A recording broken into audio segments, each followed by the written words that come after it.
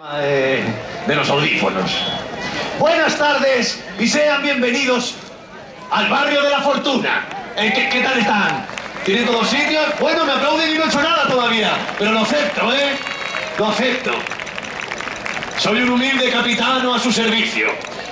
En breves dará comienzo el último duelo a pistola entre Antonio de Orleans y Borbón, duque de Montpensier, hijo pequeño del ex rey Luis Felipe de Francia y Enrique de Borbón, duque de Sevilla, eh, hermano de Francisco de Asís, rey consorte por su matrimonio con la reina Isabel II.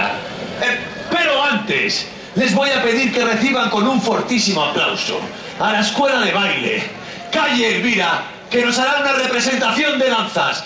¡Fuerte aplauso para ellos! Cuando quieras.